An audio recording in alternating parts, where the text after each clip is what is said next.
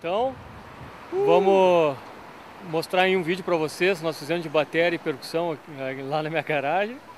Um baiano e um gaúcho aí, vamos ver essa... Muita música, uma mistura de O que, ritmo. que, que vai dar essa mistura Bahia com, com o Rio Grande do Sul aí? Pode crer, tudo nosso. Vai dar, junto. vai dar um, um white, o que, que vai dar aí? Tá perdido aí, cara? Ih, Que- Tô esperando o táxi, né?